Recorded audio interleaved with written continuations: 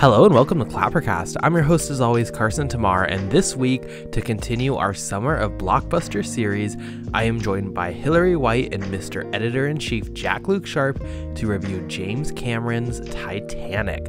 Of course, one of the biggest films of all time, a truly classic love story following the relationship of two passengers on board the tragic voyage of the RMS Titanic this is a massive feature that has many ups and many downs, and today we're here to discuss its legacy, we're here to debate its quality, we're to deep dive a bit into our views on James Cameron, debate him as a director, debate the path of his career, and ultimately come to a conclusion on why Titanic has become one of the highest grossing films of all time. If you're a fan of this film, or you hate this film, if you're one of those haters out there, I see you. This is going to be a very, very fun conversation for both sides, and I hope everyone enjoys. So let's get to our review and our breakdown of Titanic. Okay, everybody. So before we get into our review of Titanic and discussing it, let's get to the story of Titanic, quickly breaking down the situation. Because out of every film I think we've talked about, maybe with the exception of Jaws, this is the one that everyone was prepared to be a box office disaster. This was like out of nowhere that this became a success. Um, it ballooned into being the most expensive film of all time. They originally wanted it to come out during the summer, got pushed to December due to production. They wanted a big LA premiere. James Cameron said, No, I'm not doing a LA premiere. We're going to uh, debut it in Tokyo. The reactions were mixed it was going to be basically the thought process from Titanic being released was not is this going to be a success? It was going to be how many millions is this going to lose um, the production companies behind it. And then all of a sudden it released on December 19th, 1997 to wide acclaim. Everyone loved this film and it blew up, um, setting box office records. It was the most successful Christmas Day box office of all time at the time. Um, absolutely did numbers on a global perspective was one of the first films to ever really touch India and do really good marketing in India, actually, um, which everyone says is because it's Bollywood elements. I don't quite know if I see the Bollywood elements personally. Maybe we can get into that later. Um, but even to the point where this is a three and a half basically hour film, they would ha- program this at midnight because you couldn't run over you couldn't run four screenings during the day because of its length you had to run three so they would program it at midnight and it would be sold out until 3 30 a.m a crazy reaction, whether it's because the romance, whether it's because Leo, for whatever reason, Titanic blew up. And we've talked about very successful films on the series so far. But when you look at the current box office with all the re releases, this is a new level of success, grossing a total right now of $2.264 billion on a $200 million budget. Right now, it is number four on the box office of all time. Um, I think the last one we talked about was the biggest, and that was in like the 70s. This is like we've talked about successful films this is one of the biggest films of all time truly to this day it was unmatched at the number one position for over a decade until a film we'll talk about later on this series um, a big debut a big film cameron success was it good uh, Hillary, I would love as you're the guest today to start out with your history with Titanic and maybe getting into some of your overall thoughts on the film, um, and then we'll go deeper with the episode. Uh, yes. Um, I ended up seeing this film for kind of a strange reason. I think you set up things very well. Um, I wasn't prepared for what this film actually was or what the craze about around it was all about. Um, we had like this little mini unit in sixth grade about the Titanic, and I found the tragedy very fascinating as far as like what happened to the people on there, how you know everything went wrong, and it was just like this horrible mistake that had happened out in the middle of the ocean. So I went to the film thinking it was just going to be about the Titanic, and I was incredibly naive. I, I wasn't prepared for a love story or anything like that. And um, I have to say, like the craze around this movie, I don't, I don't know. Actually, we've established our ages. Like you guys were probably really, really young. Like, how old were you guys when this film came out? A year old. You were a year I, old, and how I old was were you? Not, I was not in existence. Okay, yeah, I was. I was prepared for that. I was going to say, like, were you guys alive when this came out? I cannot, like, what Carson said is true. I cannot describe. People lost their minds when this film came out, and um, to date myself, um, I just turned forty, like uh, several months ago, and I was 13 when this came out. I was so clueless. Like, I cannot describe what ha- I was in middle school. I yeah, I can't emphasize enough. Like girls in particular, like lost their fucking minds. I you just had to mention the movie and people would start screaming and crying. I mean, it was insane. Anyway, um, so there was a lot of hype around it. I saw it several times and I kind of went in a lot to see the film, kind of like uh, to make fun of it. Um, because uh, I was kind of an outcast in that way. But um, I ended up seeing it, I think, four times because the film ran in theaters for a year, maybe even longer, which seems totally crazy now because things kind of, you know, yeah. go so quickly and then end up on streaming. This film was so successful. I think it ran for over a year. Um, and uh, I I had kind of a weird relationship with it um, that came across in the review I put up in Letterboxd last night upon rewatching it. Um, I get really twitchy and nervous and can't really pay attention, and I don't know. Maybe it's just because it's connected to a time in my life that was, you know, painful. You know, because it's just like you're in middle school. mm-hmm. But I can't completely. Um, I can't completely explain it. So uh, the the film is I'd say it's both good and it's bad in some ways, um, and we'll get more into that as we go along. So those are my opening thoughts. I don't want to ramble for too long. That's for sure. I love having this perspective of someone who saw it in theaters. We should have had Jakob on the Jaws episode so he could say what it was like going to see it as a teenager. Mm-hmm. Um, Jack, what is your history with the film? that is cruel. Um, that's the chair, by the way. That's not me. Um, I have like a love hate relationship, very much like what Hillary said, but my hate with this comes into a question that you're going to ask a little bit later. So I'm going to start with the positives here. Um, I agree with Hillary. I can't understand or quite analyze why this is as big as it was. I mean, I was a year old when this came out, so I found this on video, and I, I remember having um, very conscious memories of watching this a lot on video and, and watching Romeo and Juliet for some reason. I would just found that there were there were two uh, types of like films within like we had like a small video collection here like the, the Terminator and Commando and and the Matrix and uh, Star Wars Indiana Jones. I remember just rinsing those videos and just because they were so different to watch of everything else I'd seen before. Um, watching this again, I do I do quite enjoy the experience, but it's one that feels really interesting to talk about uh, more on a on a on a level of filmmaking quality because it very much is a simplistic little venture. There's the, it, it's very much James Cameron into a T where there isn't much narrative going on. It's quite linear, quite structured. There's not much there that we can have a real discussion about because it's it's very much playing into casual convention. But from what you said, Carson, about your opening about this was was alleged to to bomb, I can't help but think that this has been purposely built to scientifically go against it. Because I was writing in my notes earlier about how this is built it, it, as it, everybody knows how this film is going to end one way or another like you know its notoriety precedes it in it that it sinks so what he has to he has to predispose that with making a narrative that's engaging and immersive so we ultimately forget the tragedy that's yet to come and then when it hits it doubles down because we all we all know it's going to happen but it happening happening anywhere um, it destabilizes the viewer and I think the only way he could do that was make it into a romance because you can't do an action film. I think like what Hillary said when when you were younger about thinking what could it be, not knowing it was a romance.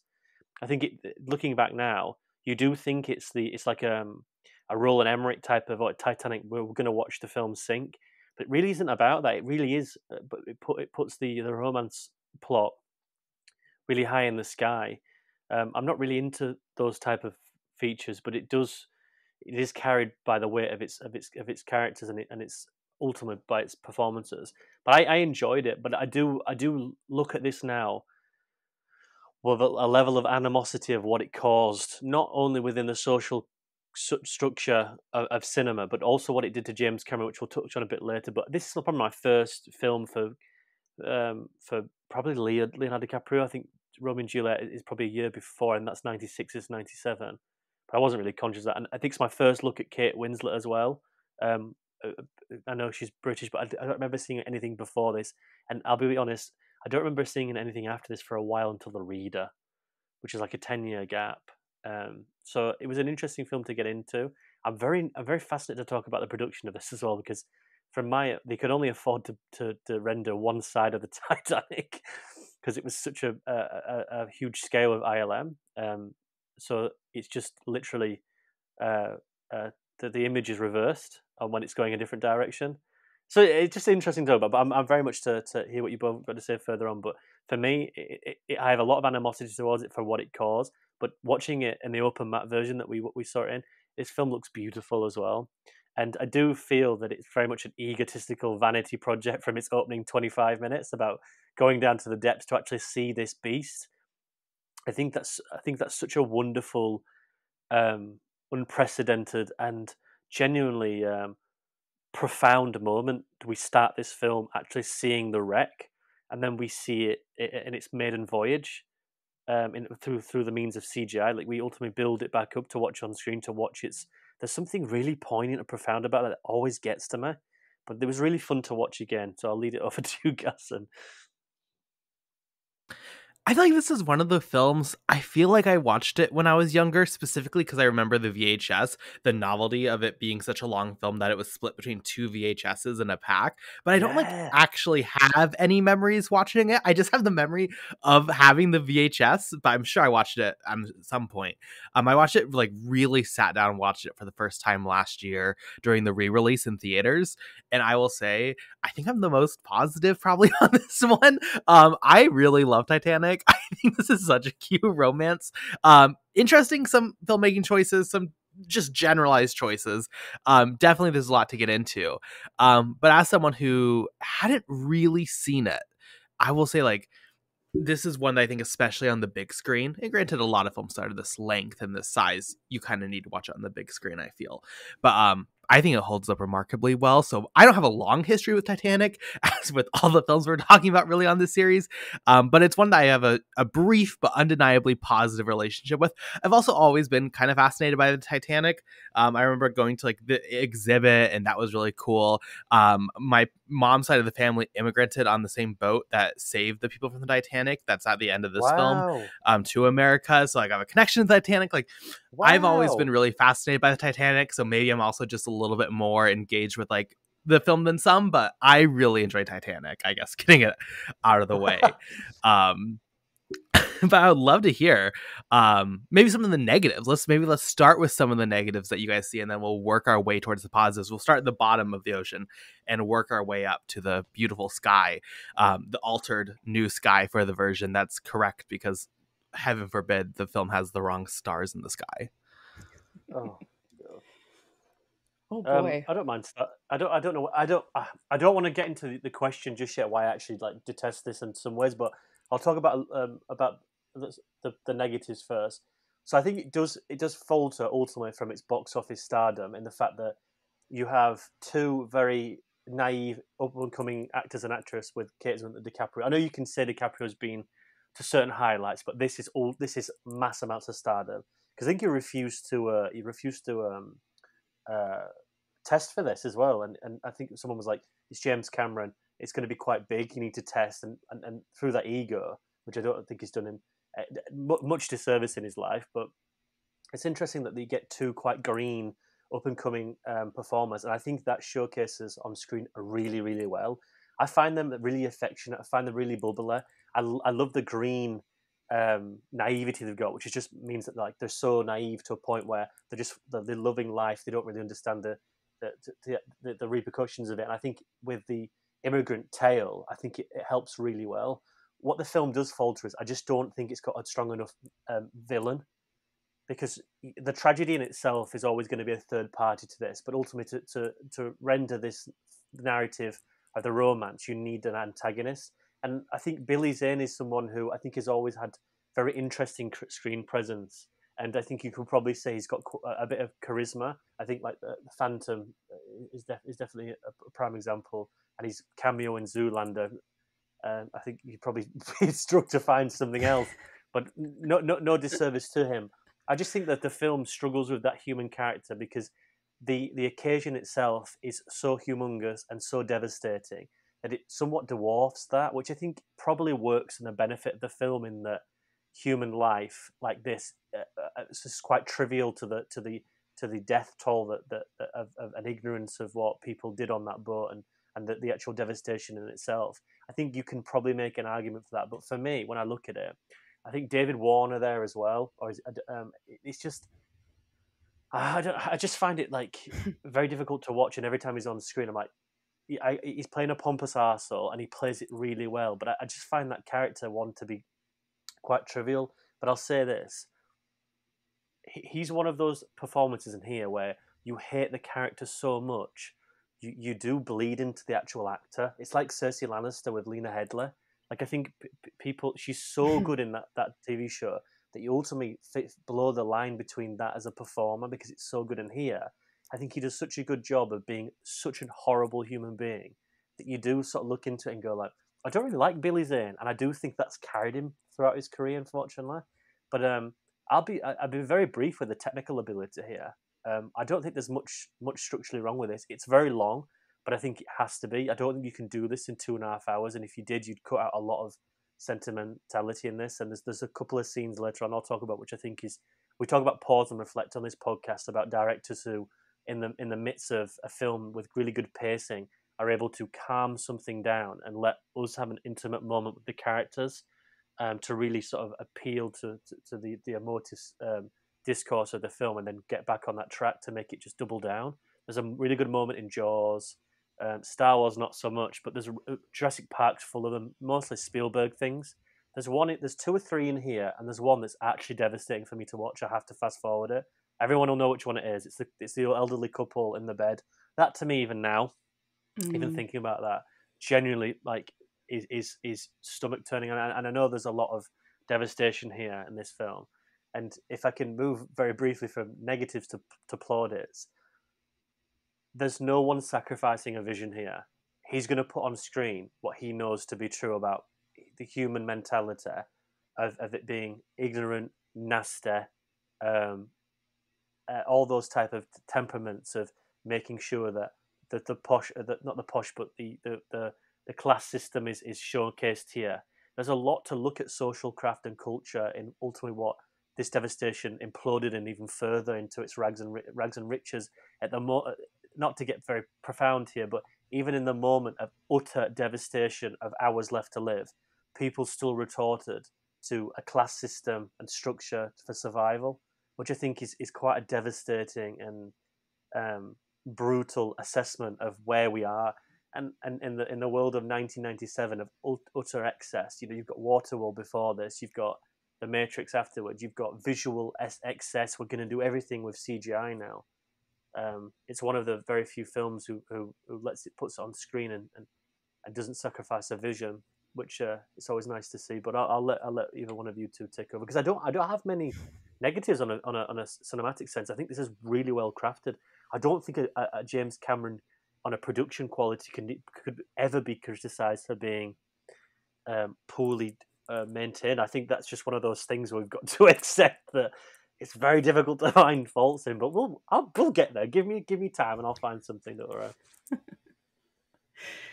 um, I'll, I'll, jump in here. Uh, I and piggyback off of what um, Jack just said, but uh, I think the main problem for me in this film, where I really, really struggle, is I think, I think it's James Cameron and how he writes romance. Um, I haven't seen the Avatar films, and I've heard similar things that it just seems a little bit out there or happens too quickly. And um, other than that, yeah, I can't weigh in very much because I have not seen those movies. Uh, I I was familiar with the two leads in different ways before I saw this film, and I think that's also a problem that I had, even though, I mean, looking back, I was quite young. So it's kind of weird. Um, I had seen her in other things, and I had seen him in other things um, in more grown up films. So seeing them in this and seeing, you know, how the scenes are set up and like the dialogue, some of the dialogue they have to say, and some of the things that Cameron made them do is so um, painful for me to watch. Like as far as like um, you know, just being really uncomfortable and cringing the whole time. Uh, I think that's where I really struggle because as performers, I, I do appreciate what they've done quite a bit. Um, and uh, it was kind of shocking to see it's like oh this is what they're working with and they fortunately i think you know they did become friends in real life so there is you know some chemistry there and stuff so um, that that made it work but but a lot of it like a lot of the romance is is where i i really um struggle but the rest of the film um, like Jack said, everything that has to do with the sinking of the ship, what's happening on the ship, the class divide has always um, caught my attention, and even more so now because as an adult, I have a much deeper understanding of what that means. Um, and just the little stories like you, that you see, there's little mini arcs, I'm sure, because there's so many people who you've watched this repeatedly over and over, and you can follow tons of people who are just like um, background characters and what eventually happens to them and stuff. But at the same time, it is romanticized. One tiny scene in this I had a problem with was the um, the mother putting her kids to sleep because I was like, oh, that's really sweet, but they're all going to drown in there because it's like that's not really the end. It's still going to be really horrific.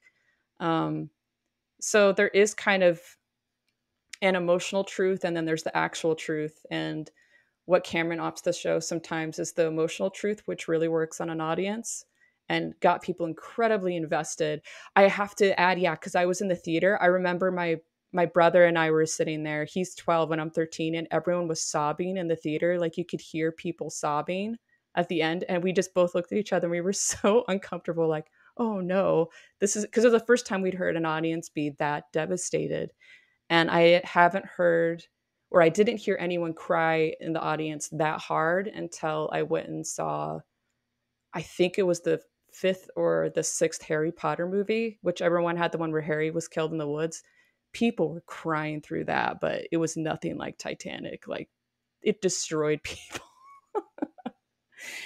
so um I mean there are there are negatives and things like that, but um I'm interested um in what Carson has to say. And I have to say, like hearing when it was re-released last year and there was people in that are teens or the early 20s seeing this film for the first time and they said, you know, I loved it and they're um, posting videos on social media and they're crying because they're so deeply touched i actually that actually warms my heart a little bit the fact that they loved it so much it's not for me but i'm glad that um, people still like it because as a production it's like jack said it's it's really beautiful to look at and it does illustrate this this tragedy that happened for me it's just the love story god help me i can't engage with the love story but i'll also defend parts of it we'll get more into it later.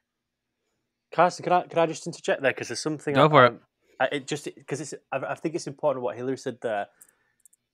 Just on the romance, I, I think there's been this, um, and rightly and wrongly as well. I think there's been this sort of stance on James Cameron to write really strong female characters, and having watched quite a lot of his stuff recently, especially the two Terminators, this and the Abyss.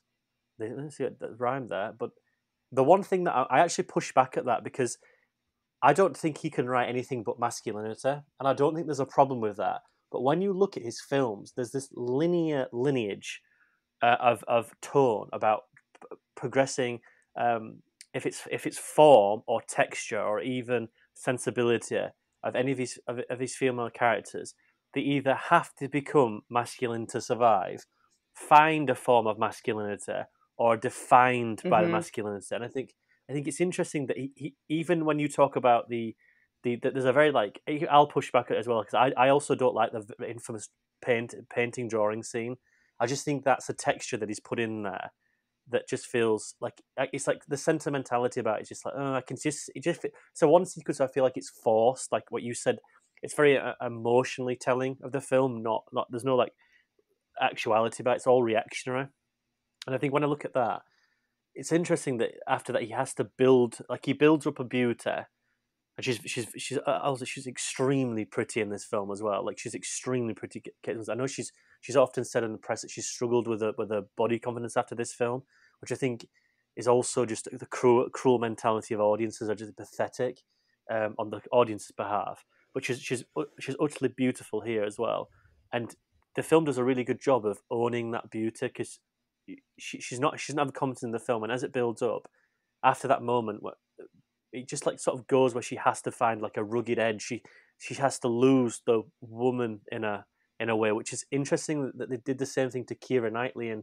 uh, uh, Pirates of the Caribbean, which I think is there's nothing wrong with that. I think it's quite quite fun to watch. It's a, it's a sort of subvert expectations. But when you look at James Cameron as a director, even like Sarah Connor, and you look at um, The Abyss, and, we'll get into it with with uh, uh, Ripley as well. Like he's not very good at uh, writing uh, uh, um, the female form with any form, any form of emotion or sentimentality or knowing what like the maybe what womanhood is. And I think when you look, watch Bigelow, which is uh, his ex-wife, I think she grasps that far more more interesting. like if you watch Blue Steel, which which Uncut Gems did, and you watch The Weight of Water, even Strange Days or Point Break, she's the director on that part where she she she might not have the budgets, but she runs rings around him writing characters about masculinity.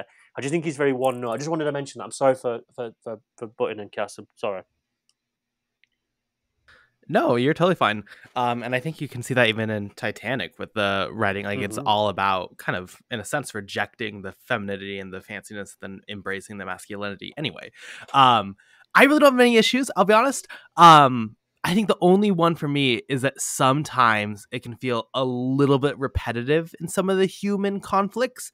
Um, I mean, I, I agree with Jack that this needs to be a long film. Maybe three hours, like 15 minutes. You could trim down to like 305, three. Um, but I don't have any issue really with that. I think actually the pacing and the um, out the blueprint, the layout of this film is like brilliant. Um, I will say maybe the one area also is like at the beginning, it does take a little bit of time to set up, and I think maybe that could have been cut down a little bit.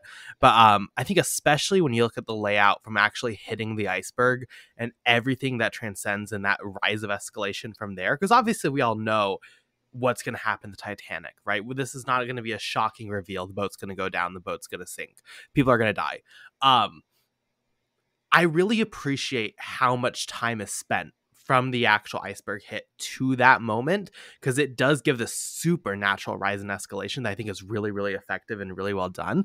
I will push back in the sense of like, I think probably the best part of this film for me is the chemistry between Winslet and Leo. I think this is like, I don't know, not, I don't think this is a hot take for most people, but like, I think this is probably one of the better cinematic romances.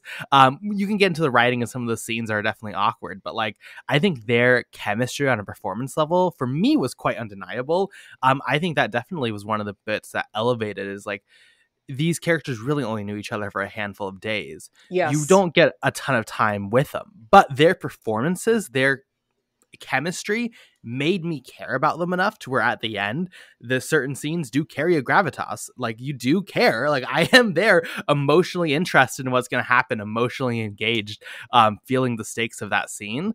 Uh, so i think for me the performances i mean overall i think this is a fantastic ensemble. I almost think it's a little like dirty that everyone only talks about winslet and leo because this cast mm-hmm. overall is i think fantastic top to bottom. Um but I really would look at complaints, and that's kind of why I want to start with it because I don't feel like there's a ton to get into, at least with quality of film here. Um, I just don't feel like there's many. I think overall, like I just continually am impressed at a film of this size that is again a pretty simplistic romance. Like I don't think any of us sitting here are going to be like this is such an elevated piece, but actually I will say it is a little bit more complex than I think people also give it credit for. Maybe to completely go against my own point here, like Cameron, and I have a lot of respect for Cameron actually. I wrote an article for Clapper a while ago on Cameron that I would recommend you read.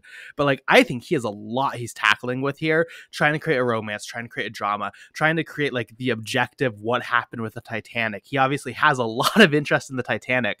I think he said that he has spent more time diving on the Titanic um, than the actual captain did of the real Titanic on board. So he loves the Titanic. He is fascinated. This is one of his special interests is just the ocean in general, but especially the Titanic.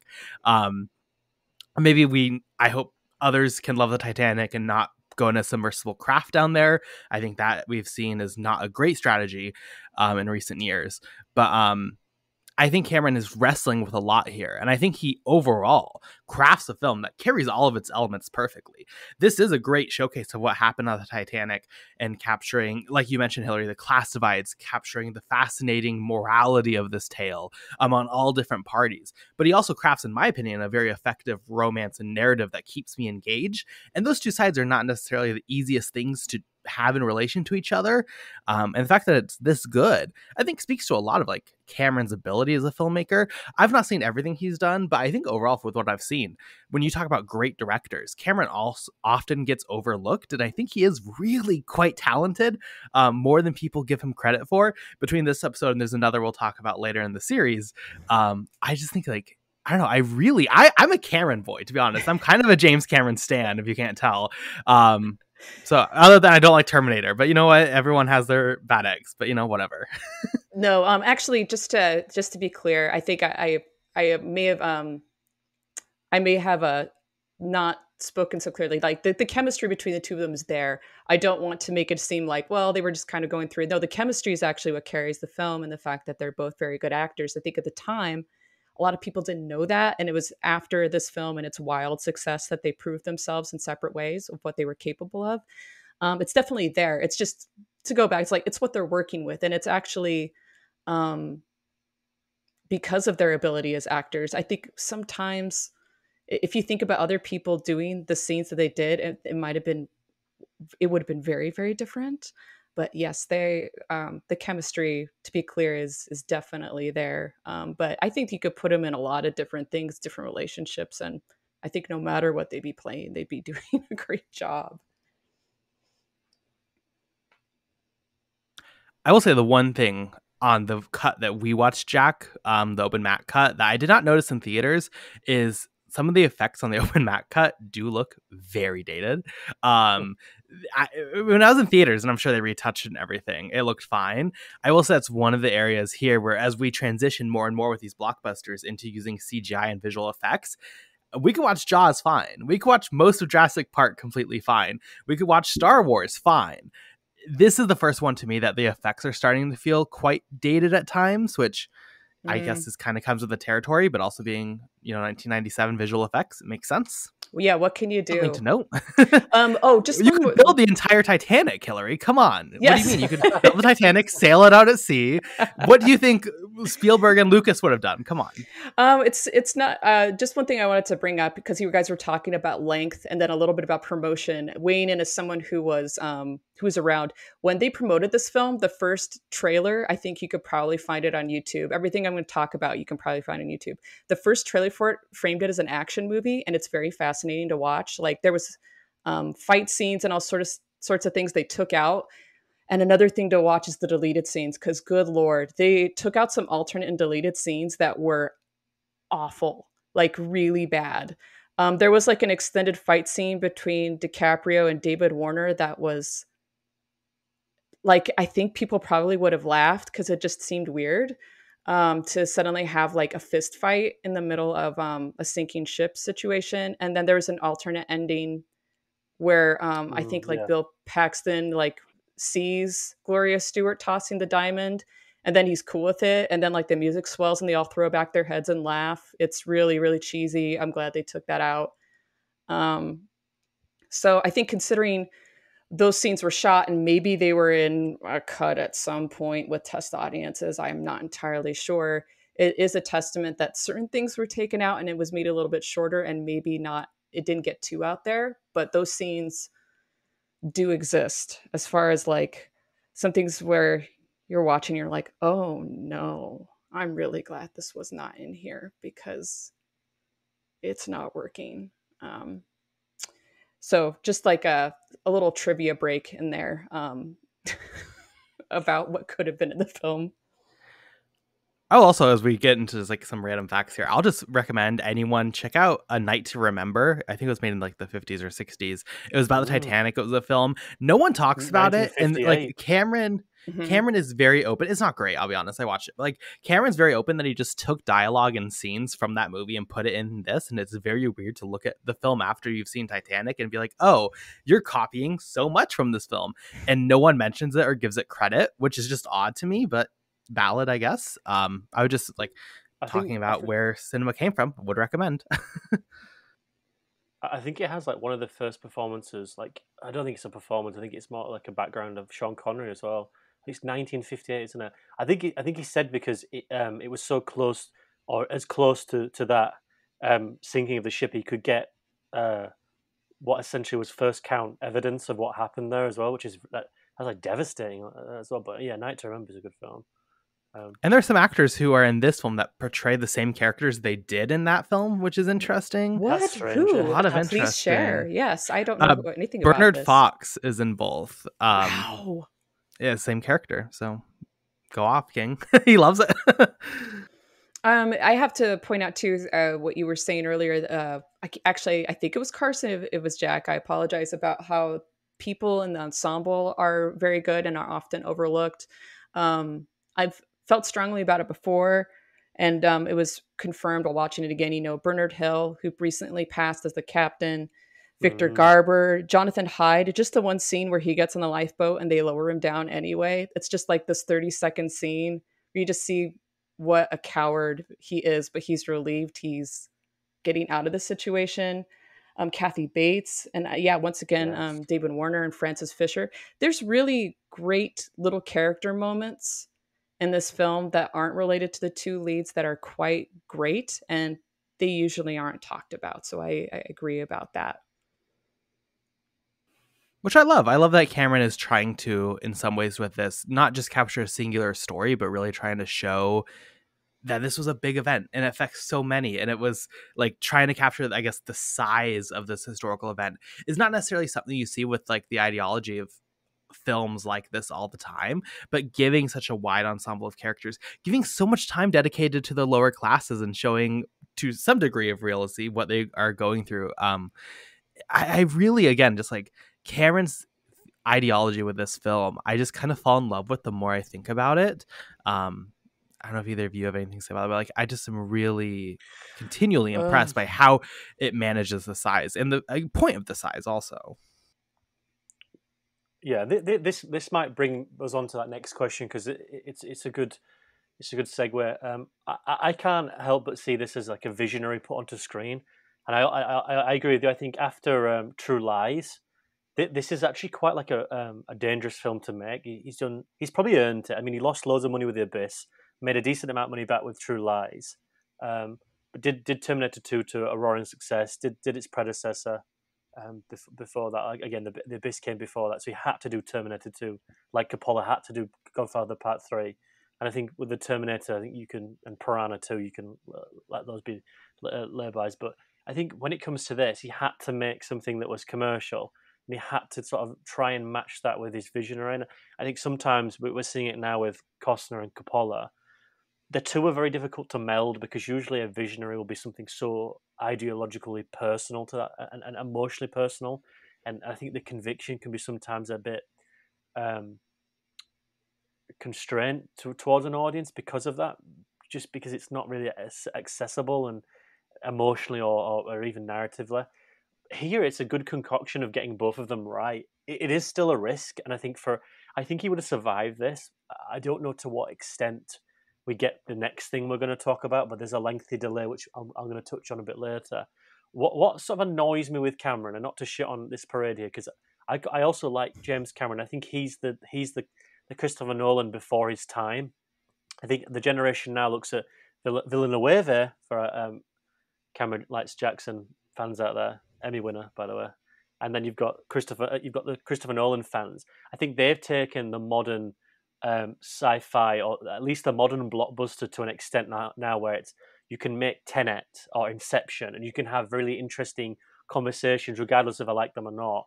But you can still meet commercialism there and still have them quite um, provocative, especially just in narrative. Let's say Cameron is is sort of before that time in a way that the Abyss would have hit really well now, not then. But the the, the Titanic is, is is a really good great um, idea of, of, the melding together. I, like I said, I've always liked James Cameron, but the more you read about Cameron as you grow up, and the more you look at more film, not to say that people, not not that, that came across like when you maturely, when you grow up maturely, not not at all. I think when you're more reading to his cycles and you're more reading to his his his productions, the guy is a monster. And I don't say that willingly, and I don't say that half hazardly. You read about the production history here about like literally um, na- having a nail gun on set to nail phones on walls, which to me is like like it's it's funny, but but at the same time, I just think like really like a, a, if you can't get the professionalism on your set, then that's b that's your issue. uh, a that shows and b to, to, to go to an extreme there under under stress. And I think I know the, the late great Jon Landau has just died, his production partner, um, which and I think Jon Landau ultimately was his right hand man, but also he he he desensitized everything on set. He was the person of the middle ground to to to calm it down with Fox, notoriously with the Abyss, this, and with with the next thing we're going to do. He was the person who would it would it would go to Fox and say, "Look, we're on time. We'll make we'll make that we'll make the budget. We'll be fine."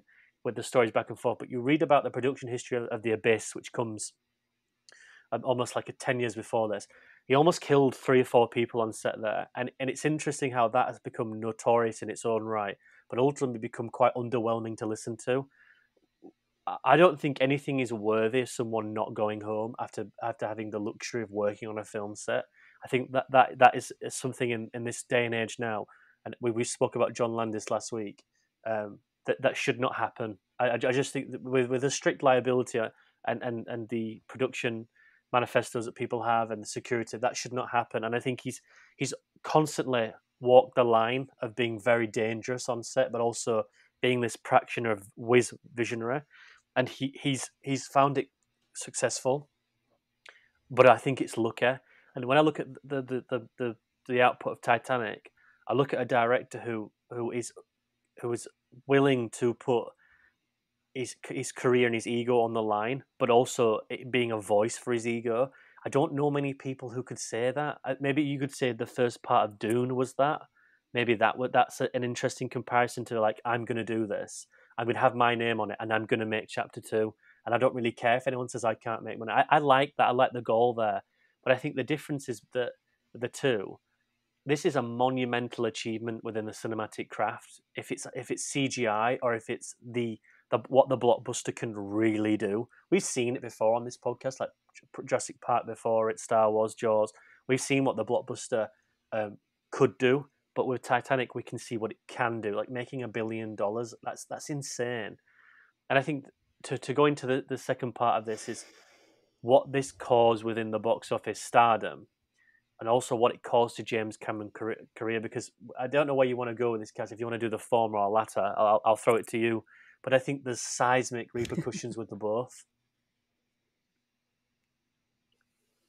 I think we can focus on because I know we're going to talk about Cameron later in the series. Why don't we focus on what this did with the box office, and we can save some of the Cameron evolution because we're going to see where he goes in this series, right? So yeah, I think maybe let's save some of that conversation and let's get into what this did for the blockbuster and the box office. The one thing I'll say just quickly before we move on though is like I agree with your points that those on-set actions and risks like Cameron's obviously someone who doesn't who's willing to take a risk, right? In his personal life and he's very clearly someone who's willing to go out there and do whatever it takes to get the shot, get the moment, get the adrenaline pumping.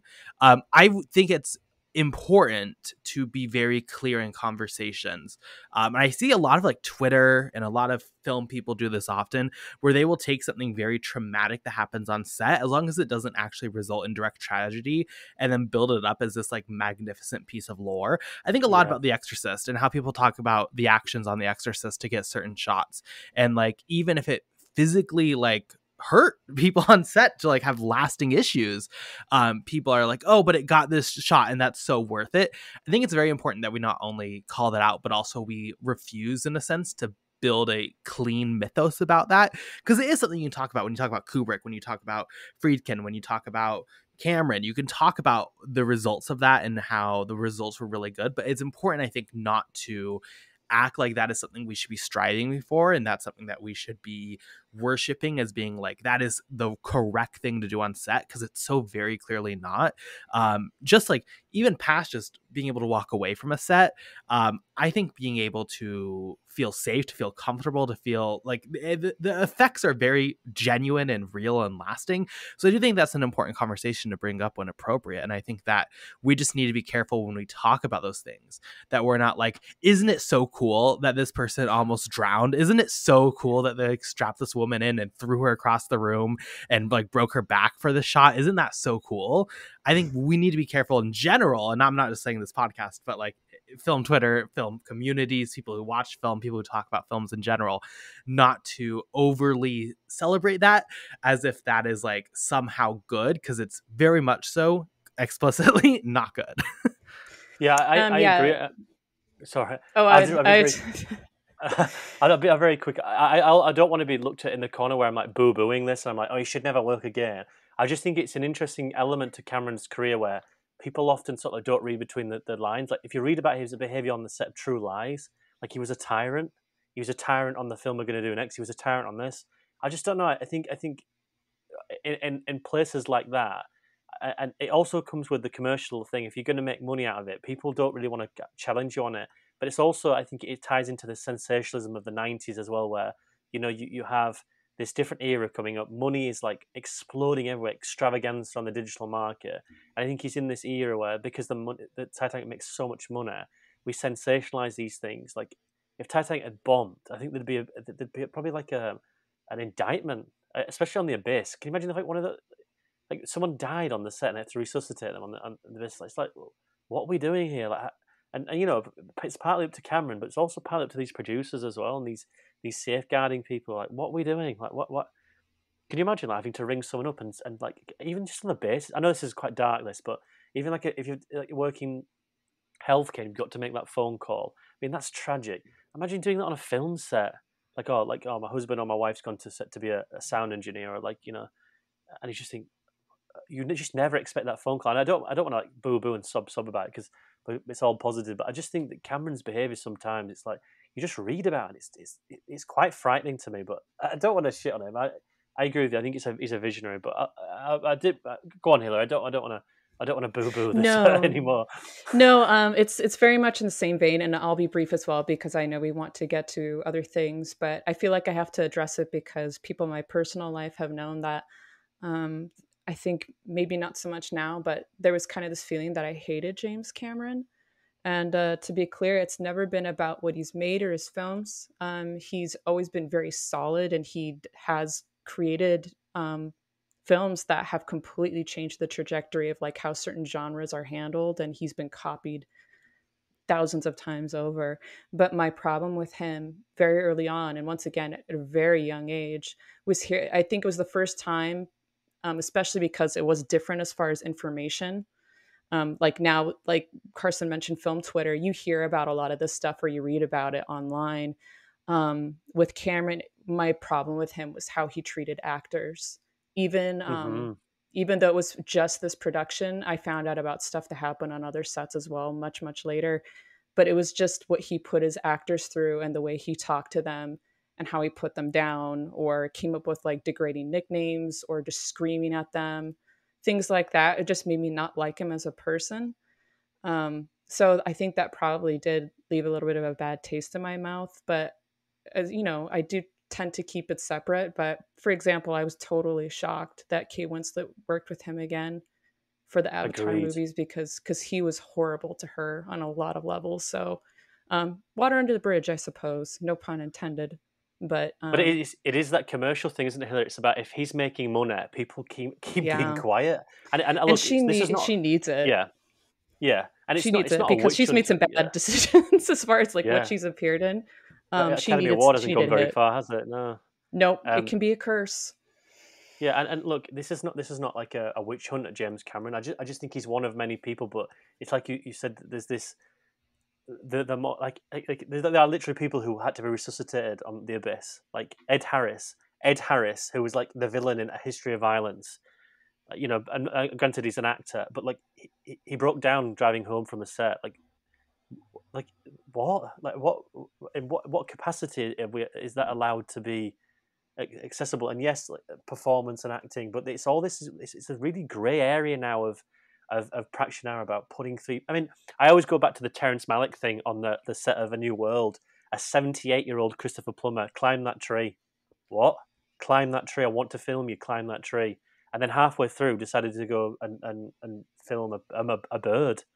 And he was like, I'll never work with you again. I'm just thinking, like, what, how, in what, I mean, where, where, where is the basic line? It's not just about this abuse thing that, that, that's that's quite prominent now and thankfully so in, in this industry but it's also a very like strong line of like, where you able to say no because I'll just get someone else. So it, it, it's interesting about him being a practitioner, but the, the argument against that is that well he's a visionary, and I think that's all well and good, but at what cost?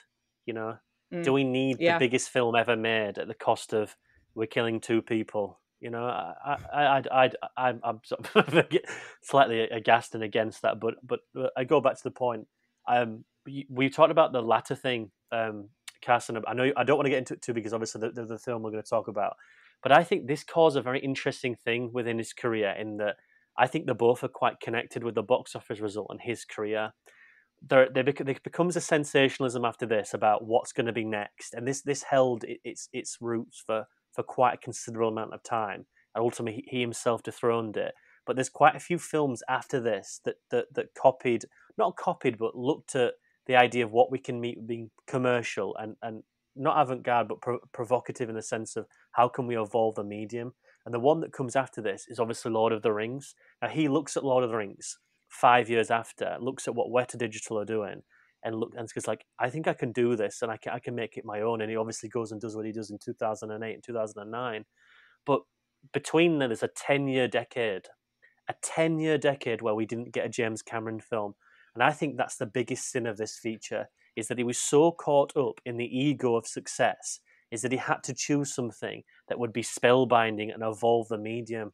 And to me, I think that's the most disenfranchised thing I could think of what this film caused in that within 10 year gap of, of, a, of an era where it's a very difficult 10 year gap because you get the comic book boom towards the end of it. But for the first eight years of the 2000s, I can't quite nail on what the uh, the the idea of what's to bring out because I know he wanted to do the Spider Man.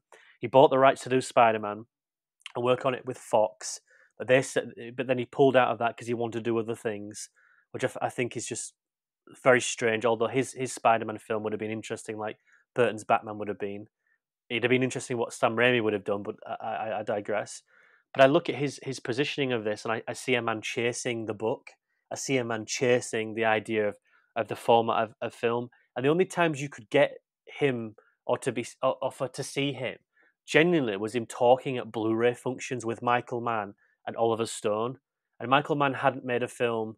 Uh, well, it was was calmed down after Miami Vice, Oliver Stone had blown everything away with with with um, Alexander in 2004. You had these icons now looking at the digital process of film and not looking at like making films themselves. Why Oliver Stone is making Alexander, I don't know, but why James Cameron didn't go and make something else. And granted, I don't want him to go make Terminator 3, although I wish he would have done, just to let, let, let that go, because that man cannot let that franchise go, and that's another conversation entirely. But for me, I just find it quite compelling in in a in a in a in an underwhelming and, and quite uh, disgruntled sense of we had a 10 year gap where he would just go and shoot three documentaries underwater because he because he invested in that submarine thing. And you know if that's his if that's his ego projects and that's that's good enough but for the talent and the seismic range he had as a creative to to to, to make three documentaries two of them about this fucking thing you know we've done that like you know i want to see you do something different. I don't think now he would he would he would do that and where this has gone from chasing that book and chasing the the what how can we evolve the medium as setting back making these films now which i, I find just like slightly redundant. I just look at this and I, and and walking out of this like even now God, what is this guy going to do next? Like he, everything was against him, like you said, Cass. Everything, the the production, the budget, the audience were against him. The cast, everything was like, it's just not going to work. You know, we're going to test screen this. We're going to have to. We're going to stop the um, the domestic premiere. We're going to do it overseas. That's crazy, but it still hit the heights. And I think when I look at that, and I like the gamble.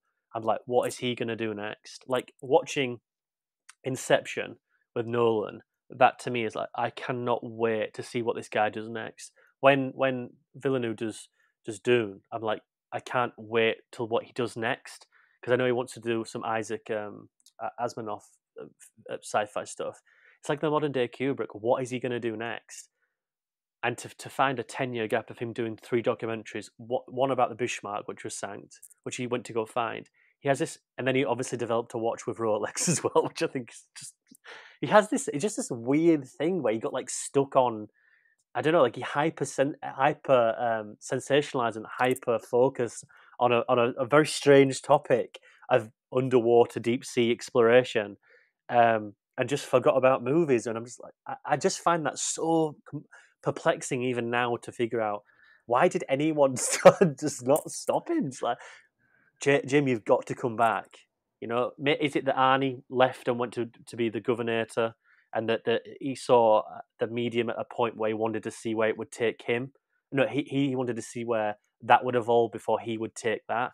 Which I think not a lot of people remember this, and I'm going to bring this back next week, or when we do this other thing, is that I think he's quite coy here. I think he purposely waited those years to see where that would take him, and he wouldn't take the CGI. I think it's a very conscious decision to take a step back. But I look at this and I think where this ended up with Hollywood, I think people begin to chase this high. And I think it's it's sort of caught two years later with a with a, a certain George Lucas. And then after that, it doesn't really hit again maybe for another decade, does it? It's a very strange time because there's uh, well, we can go on forever here. I'll, I'll move on. I, I know, but I just think it's an interesting time that people start chasing the high. Fox have another hit on the hands with Lucas two years later. But we'll, you know, we'll get. Well, I'm sure one day we'll get there. Uh, but there's an interesting thing there, isn't there? There's an interesting thing with Fox and and and their their establishments, what they've got, and this being an original IP as well is crazy. Uh, but yeah, I'll move on to, to someone else. I don't want to take up everything, but I just find it like I just I just get so disenfranchised looking at this and like, why did you just not do anything? Like you could have you could have changed the medium. You could have done things at the time because he was a massive proponent of Blu-ray. Like he put his corner in blue because they, they had a fight with HD DVD, which is essentially Microsoft versus Sony, and Sony won because they imported the Blu-ray player into the PlayStation Three, and Microsoft didn't because you know that's what they want to do, and Sony Blu-ray won. And I think he's been a massive proponent of that. But he, he, he started producing vehicles. Alita, Alita he was meant to make, he didn't, and then Terminator Dark Fate. Well, you know, let let let them be now. But I think I just look at him as a director and as a visionary. And when we look back, all said and done, and this is uh, this is such a vanity thing, and I don't want this to come across egotistical. I will look back at him and I will honestly say, you didn't do enough. You didn't do enough. You had the time, you had the energy, and you had the skill, and you didn't provide enough on this world at the time you could have done. I know that's so egotistical to say, and people are like, "How dare you? How who do you think you are?" But I, I, I generally do think that. I'll say the same about Lucas. I will. You could have done more. You could have done so much more with the power you have. Um, and I think I look at this and I just think, just a constant reminder of what if, Carson, for me. What if? You have two conversations happening and we talked about the like with lucas and his filmography and how it was sad he didn't direct more films. I will say first just talking about just quickly the like uh blockbusters i think when you look at now in the films studios refusing to take risks i think a large uh, part of that comes from titanic. Titanic showed if you reinforce like a simplistic narrative that plays into the tropes people expect you don't take many risks it's going to have box office returns. Throughout the 2000s you see films that try to take greater risks that ultimately don't don't get the same box office reaction. So I think when you look at it, you can easily see that Titanic, I think, probably leads the way that gets ultimately ultimately reinforced probably by certain modern films we'll talk about as far as that logic. Um, I am at a, like a complete opposite page than you when it comes to looking at Cameron's career as a director. I love that he just went in a little submarine and went under the sea after this. He's always been, I find, a very reactionary filmmaker, right? Like he's interested by underwater, he makes the abyss. He then becomes like hyper focused on the Titanic and he makes Titanic. He just like went underwater, becomes hyper focused on that exploration, finds something so cool down there eventually, and you can literally see in his 2005 documentary his eyes like widen as he sees these underwater creatures, and then literally creates new technology to put that on screen with a project we'll talk about in a few weeks. like, I love that. Like, yes, could he be a director that makes a film every two years and it's fantastic? Absolutely. But I also respect that people don't have to make film their entire lives. I love that he just has money now and then he just goes underwater and develops like deep sea technology because he thinks it's really fascinating. He has this wonderful little hobby that he goes down, makes huge scientific discoveries, and then eventually finds something where he's like, this is cool enough that I actually want to put this on screen because he wants the audience at home to feel the same level he does about these things. He's thought the Titanic was cool, and he said, "I'm going to show everyone how cool the Titanic is by literally making the Titanic and making a three-hour film about it." And then he did it. He was like, "Wow, these underwater creatures and this like these life forms and ecology, this can all be really cool. I want to put this on screen and we'll talk about it." Then he did it, and he literally developed for decades technology to be able to take us under the water with him and just like have that experience that he had in that submarine. Maybe I am very kind with my reading on all this, but I like that's why I love Cameron. I love Cameron because he consistently goes out there. He has this like adventurer soul where he goes out there on an adventure and then he's like, that was life changing for me. How can I bring this to everyone on the big screen and use cinema to create this and show everyone how cool this is? I think this is like a lovely filmography. Yes, I wish it was more, and I do agree. Like he could make great films in there, but I have no issue with what he's done. Other than Lucas, who Lucas just like sat there and like visited sets.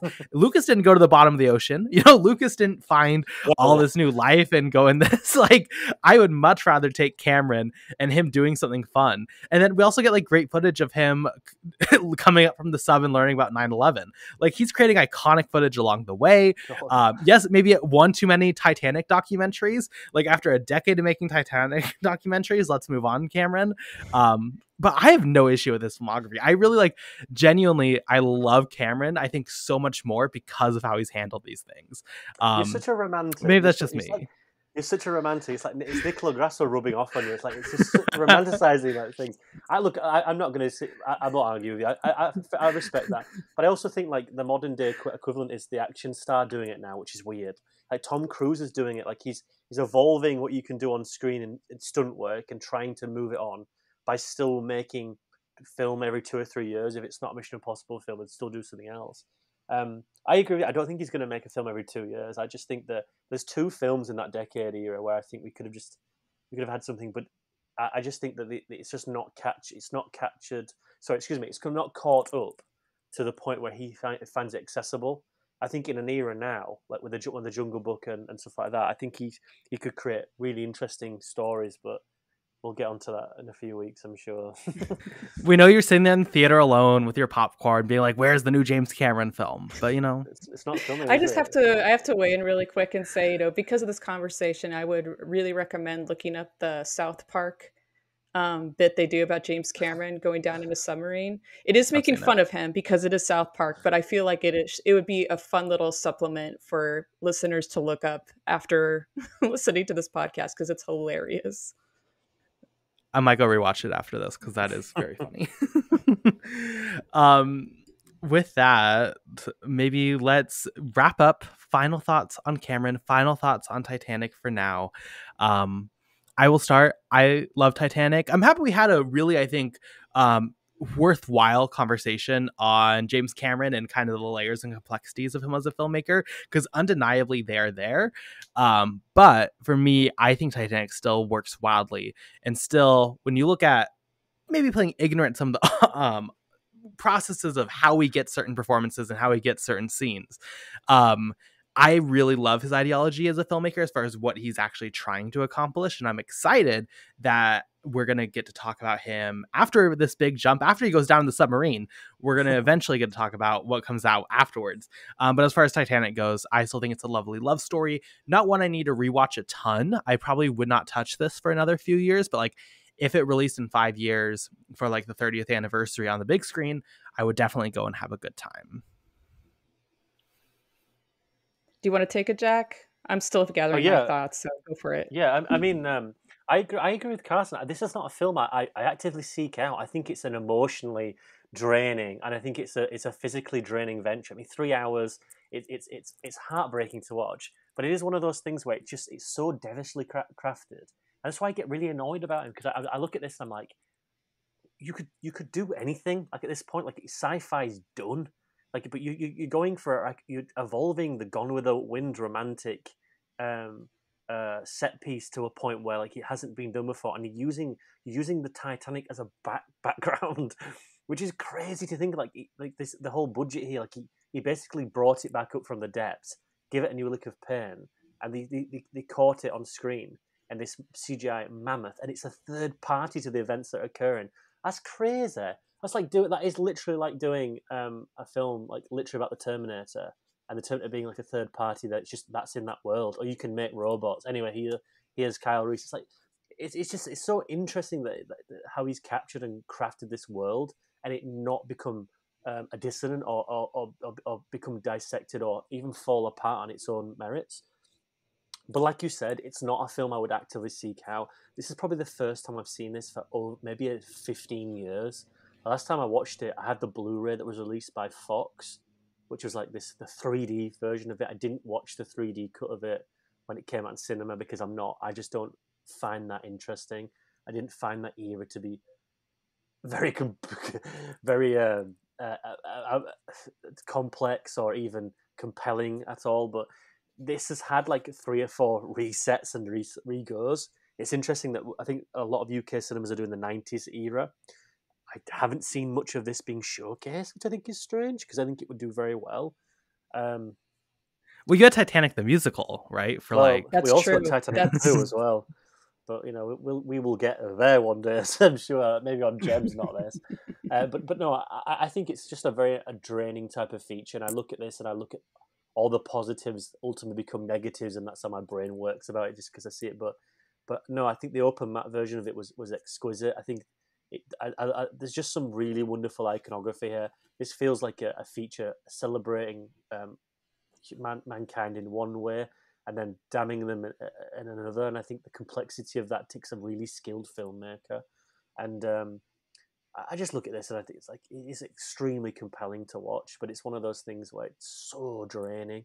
Um, but every time I watch it, I, I, I, I capture it. It's like the Zodiac, you know. You, you get in this an hour in, twenty five minutes in, two and a half hours, and I think it's you complete it because it's just so invigorating to watch. But I'm glad that we've seen it. I'm glad that we've watched it again, and um, yeah, it's definitely top tier. Cameron for me, I just would say it's my top five. I have a soft spot for the first Terminator. I think that's that's filmmaking to me. That's like not having any um, permits and just going to make a film with a guy who can barely speak English, called The Oak, um, and he's not he's going to argue with you on set. You've got Michael Biehn, Linda Hamilton, and and like that score, Stan Winston stuff. That that to me is like, you know, that's it but I, I like True Lies as well. I'm, I'm, that type of person. But I like Terminator 2. Um, and I, I, probably would say that I like this more than The Abyss. I hate the third act of The Abyss. That's why ego to me is like, Cameron, stop. Jim, calm down. Calm down, son. But no, th- this is still like brilliant. Like th- no one laughs about this in, in a filmography that dense as well, that um, elevated in, in like going for, for for bigger themes about mankind. This is never laughed at it's like oh like it's like a or do you know like when um, like like a really big director makes like a silly film or something like that. This really has maintained its legacy. No one damns this. No one um, makes this to be his like offspring that he doesn't like. It's very much weighted itself throughout its history extremely well. So there's always a really strong positive there.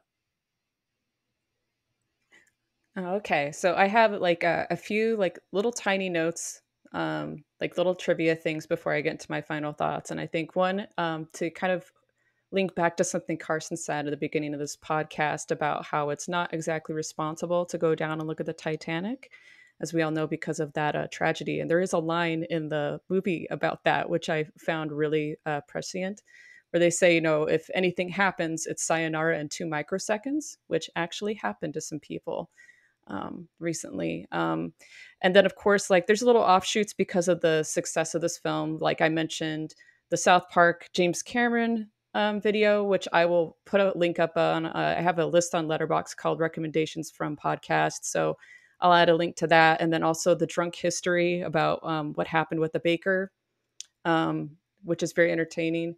And then um, long before um, Titanic came out, there was a segment on Reading Rainbow about exploring the wreckage of the Titanic, and I think that's the first time that I saw it.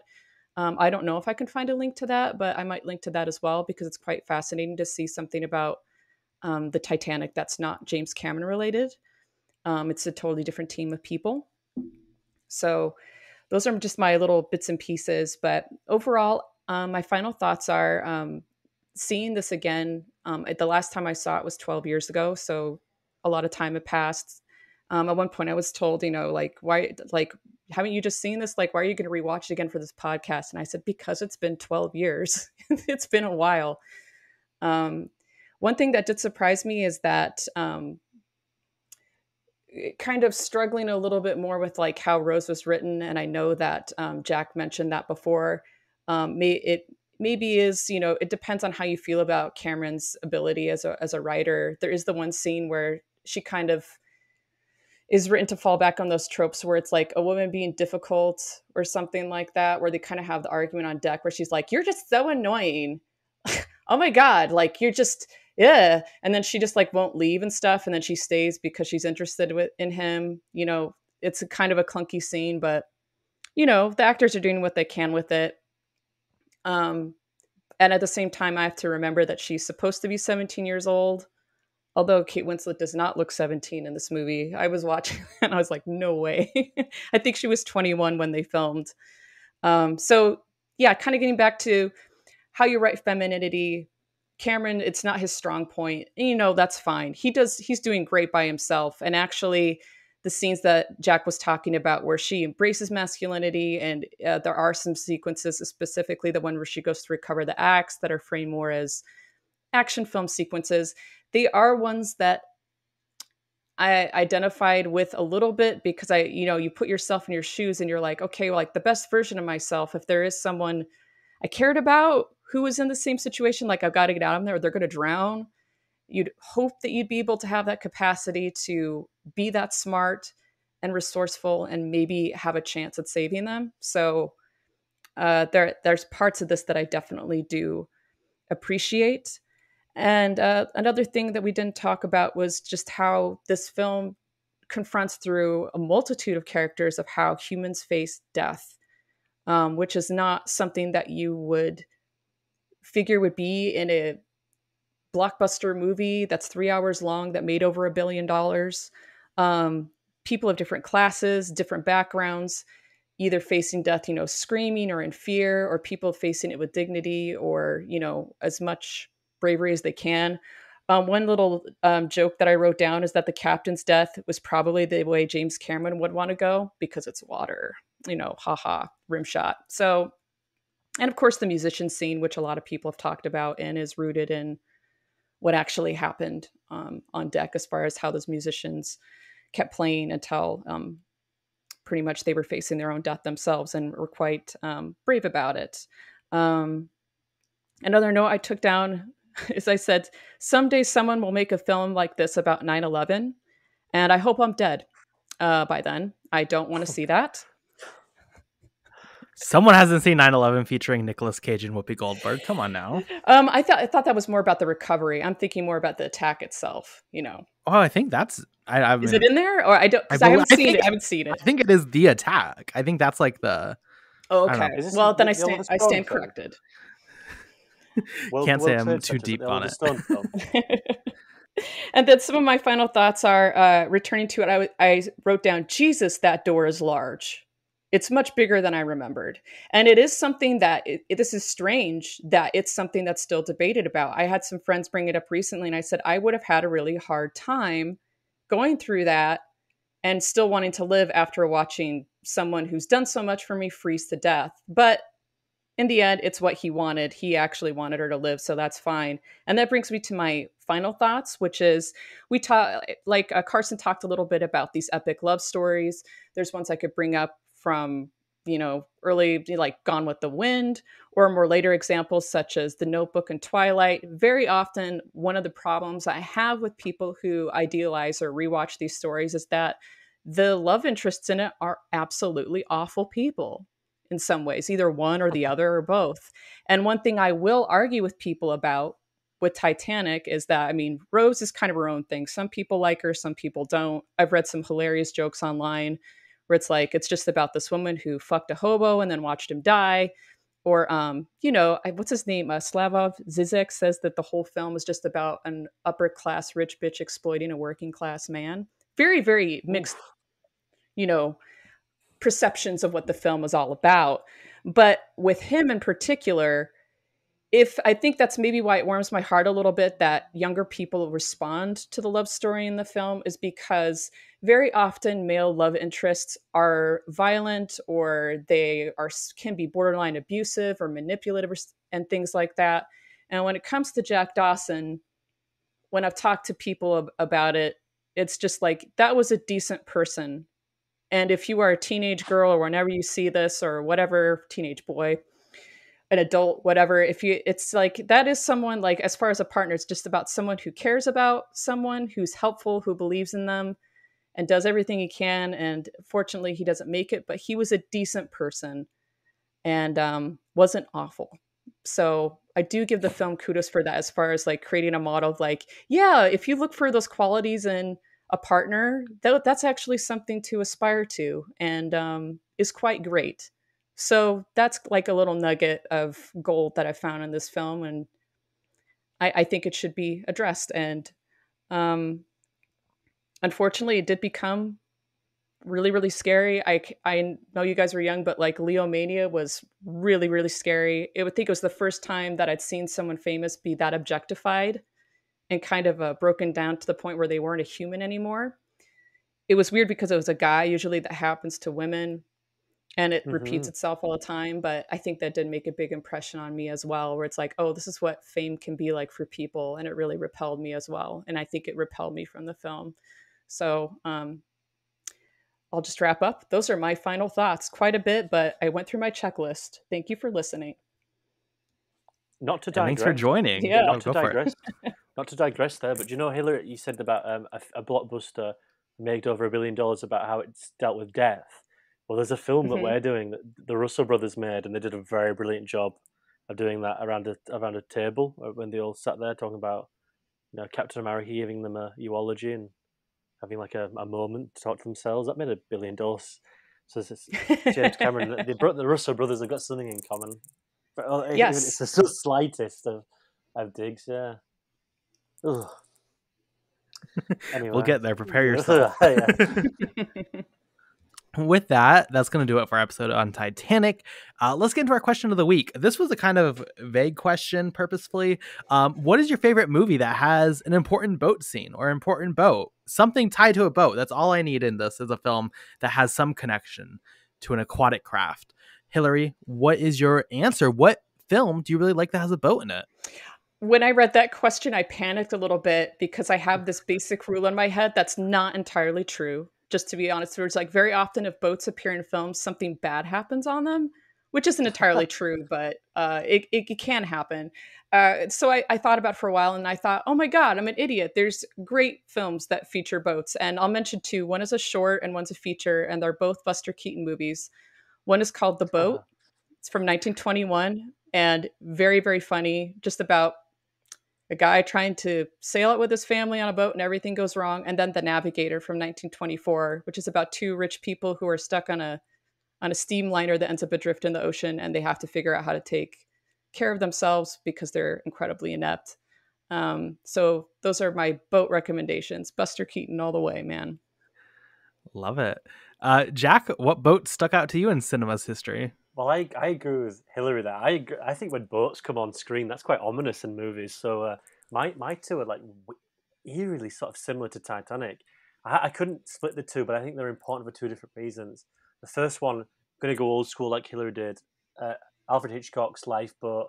Yes, it has a very much uh, pro uh, war figure with the Allies and stuff. I don't think that's a problem with the film itself, but it's in the midst of a, of a boat, boat sinking and the aftermath of people having to figure out um, who is lying, who, who, who, is, who is telling the truth, um, giving little of the getting giving away small instances of themselves in the in the hope that they'll they'll prosper from it, and then others taking that to their advantage. Very interesting Hitchcock film made purely on a lifeboat. Uh, really cool. So 1944. Very hard to find the Blu-ray of that now. Um, and my other one is in, in the other parallel. It's Apocalypse Now, Coppola, getting it, taking taking taking a, a, boat into the heart of darkness to find out more no about kidding. yourself. You'll ever know. Yeah. Um, I, I, I, when I was reading this, the more I was, I thought about Hillary's point there. I, I really do believe like ominous boats. Jurassic Park three, that's pretty, Jurassic Park two, um, Waterworld. Like I don't think there's been a really positive film that has a big boat set piece in it, or at least a boat's involved, like Captain Phillips. Um, it was all like really devastatingly like dark, grim. Life of Pi, yeah. Yes, yeah. You could see it overboard as well, and that's that silly film with Adam Sandler with the, the what he's on. I don't know what that. but even that's a bad film, so I'll give that. But that was a good, great question, a good, a good brain teaser. Anyway. Well, I'm happy you guys did such thorough work to uh, discover some really great boat films. And now I feel quite inadequate as a on the other side of it.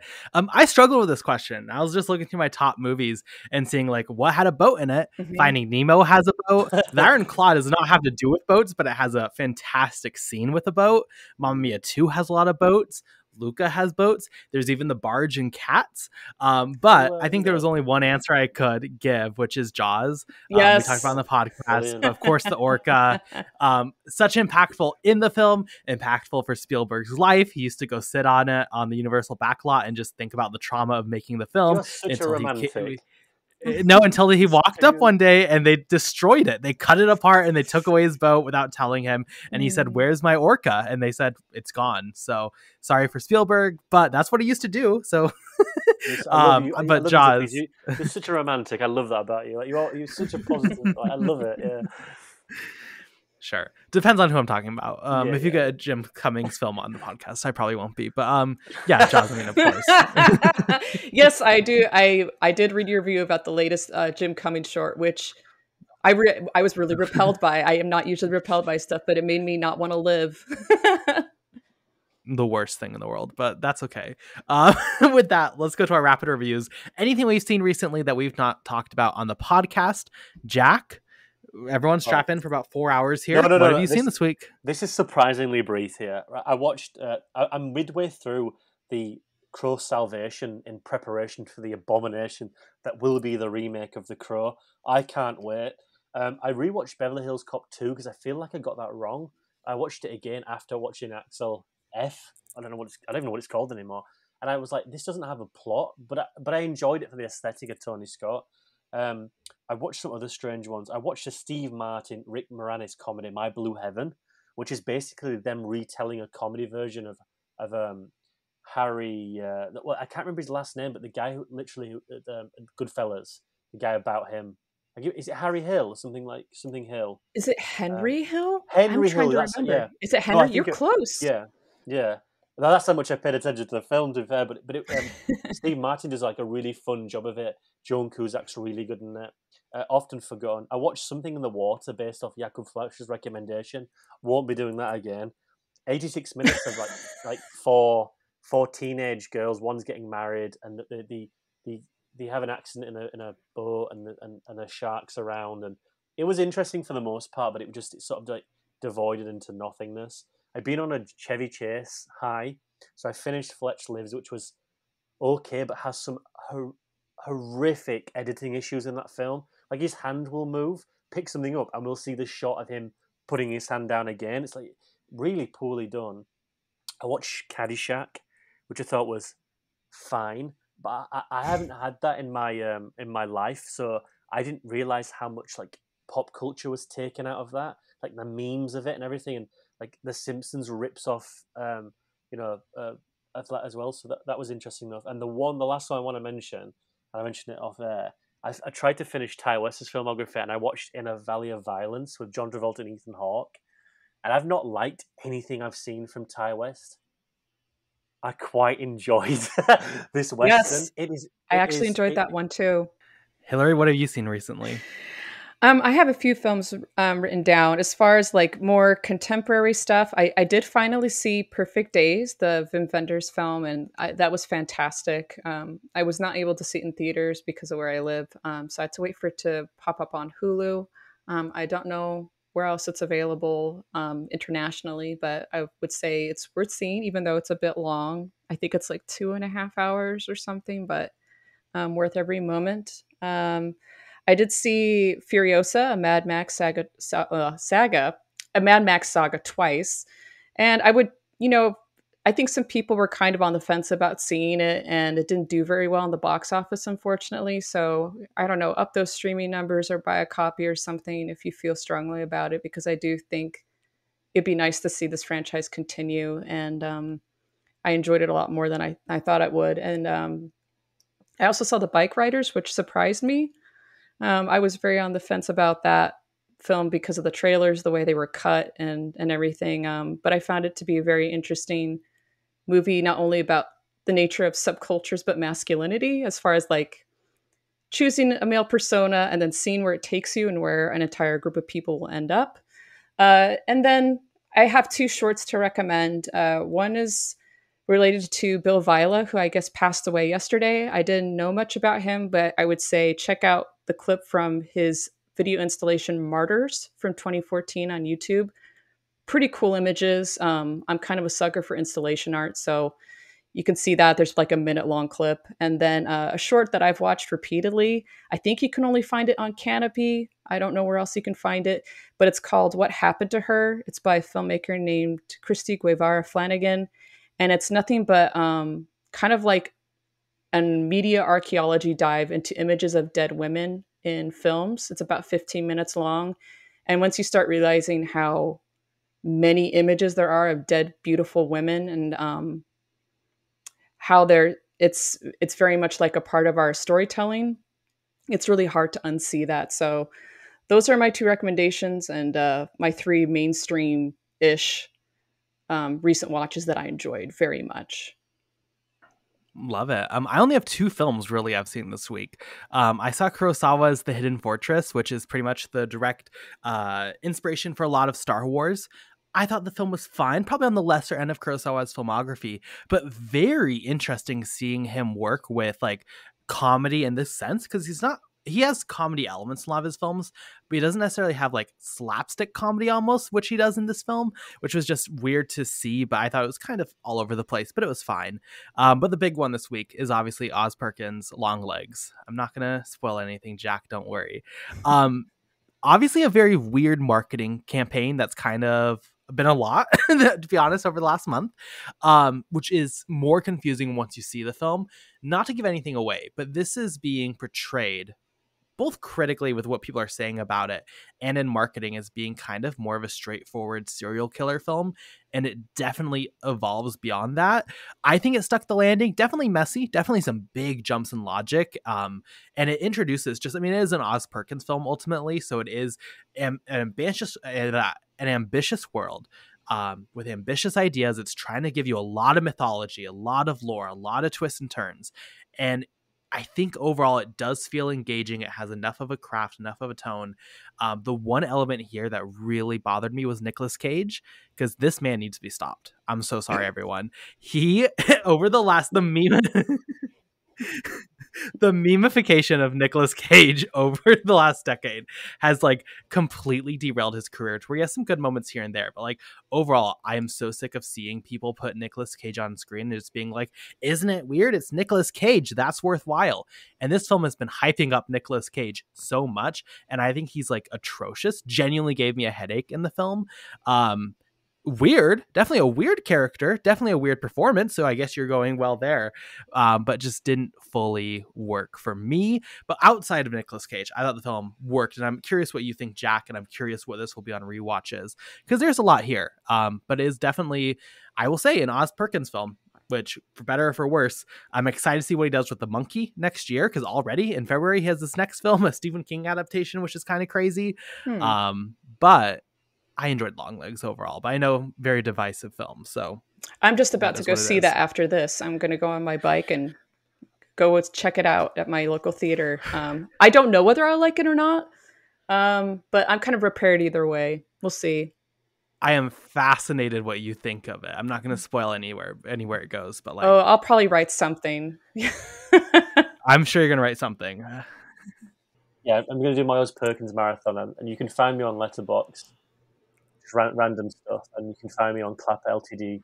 UK, where I'm gonna my, my review for Horizons come out on Tuesday, I think, and then some other stuff I'm hoping to gear up. But again, thank you very much for, for inviting me on, Hillary. It's always a pleasure to listen to you and, and hear you talk. Because um, I find your opinions on film fascinating and all the positives we've cast, and um, I love being on here. I love you inviting me. So thank you very much both for just um, listening to me ramble and, and just having to deal with it. So thank you very much for another week of just absolute pleasure. Thank you. Thank you again.